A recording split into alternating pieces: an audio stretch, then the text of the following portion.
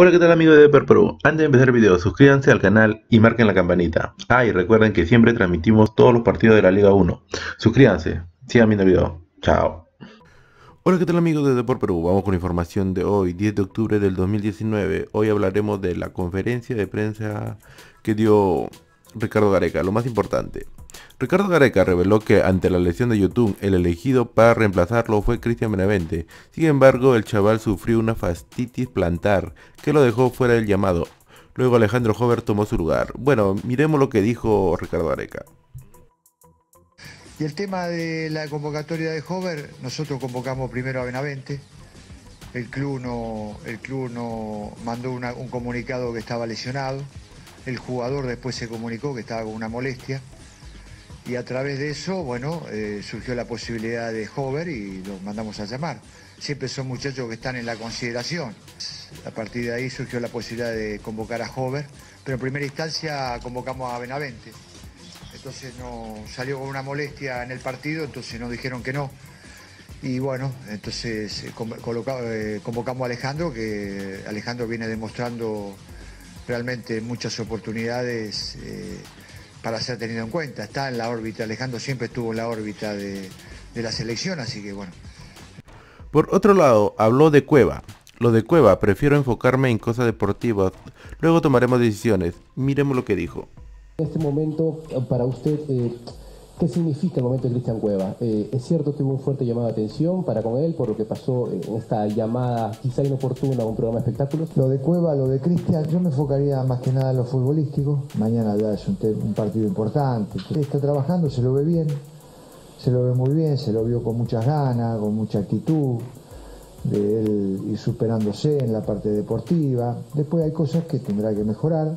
Quería, quisiera enfocarme, él está bien Después todo lo demás, lo que tenga que ver, eh, preferiría no tocarlo, ¿viste? Porque yo creo que la selección tiene que enfocarse en lo, en lo que corresponde, después tomaré decisiones, tomaremos decisiones de lo que creamos conveniente. Me gustaría, por supuesto, que muchas veces se hable de fútbol o de lo que tenga que ver, bueno, a veces se ocupa otro espacio, pero bueno. Por otro lado, también habló de Paolo, lo de las reacciones de Paolo no nos preocupa, porque él maneja ese tema muy bien. Miremos lo que dijo exactamente. Lo de, Paolo en la selección no ha sucedido. O no, no, es motivo de preocupación nuestra. Porque a lo largo de todo el tiempo que lo tuvimos nosotros, Paolo nunca ha tenido un incidente. En sus clubes, y bueno, y él puede tener alguna reacción. Yo he sido delantero, ¿viste? y he tenido alguna reacción. Entonces, es muy difícil que un delantero en algún momento no tenga alguna reacción o no, sea expulsado. No es una preocupación para nosotros. Herrero lo maneja muy bien ese tema. Y más allá de que enfrente defensores duros y complicados, no solamente en el torneo local y a nivel de selección, los jugadores nuestros de la selección lo, lo manejan ese tema. No, eso no, no quita que por ahí haya algún incidente, pero bueno, también habló de Edison Flores. A Flores lo vamos a esperar, no queremos arriesgar a ningún jugador. Miremos lo que dijo en la entrevista. Eh, ¿Cómo está Edison Flores? Porque hoy lo vimos por lo menos en, la parte inicial de la práctica a un lado de sus compañeros. Voy a ver lo de Cristian, eh, vamos a ver porque todavía no, no confirmo el equipo, recién mañana lo voy a confirmar, entonces tengo que hablar con todos mis colaboradores y ver qué es lo mejor para este partido. A lo de eh, Edison, bueno, visto se ha, presentó algún inconveniente, vamos a esperarlo hasta mañana y no vamos a arriesgar a ningún jugador que por ahí, viste, tenga alguna molestia o que tenga algún problema, porque resta un partido más.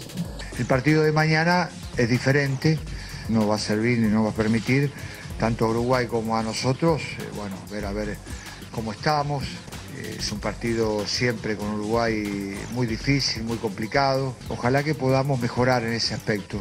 En la, parte ofensiva nosotros podamos encontrar más variantes. Eh, en cuanto a Cueva, quizás un poco la situación de algunas cosas que han sucedido arrastra todo. Entonces Cueva tiene más minutos. Si ustedes se informa y acá hay gente, hay mucha gente que le gusta, le gusta hacer estadísticas. Cueva tiene más minutos que muchos de los que están convocados acá en lo que va del año. Cueva tiene más minutos de lo que, de muchos, de algunos de los que están convocados en la selección y que por ahí no se habla. en ese aspecto futbolístico te hablo, ¿no? También habló de Yoshimar Yotun. Lo de Yotun no es tan grave, creo que va a estar para las próximas convocatorias. Miremos la entrevista. Respecto a, Yotun, cuando nos enteramos de la lesión, bueno, a ver, eh, estamos encima con el tema de la gravedad. Creo que se va a recuperar rápido. O sea, pienso que Yotun se va a recuperar rápido. Creo que va a estar eh, eh, con posibilidades, no pierdo la, perspectiva de que va a estar con posibilidades para la próxima convocatoria. creo que para la próxima convocatoria va a tener posibilidades. Por otro lado, Pablo Guerrero se quedó sin DT. Se confirma que Oldair Hellman no seguiría al mando del Inter debido a los malos resultados y últimos problemas deportivos. El DT brasileño fue informado de esta decisión por teléfono. La directiva busca pronto un reemplazo y los posibles nombres serían Dunga, Cuca, Felipao Escolari y César Carpellani. Por otro lado, Perú cayó goleado 3 a 0 ante Colombia en el amistoso FIFA previo al Olímpico. Miren la jugada más peligrosa que tuvo Perú.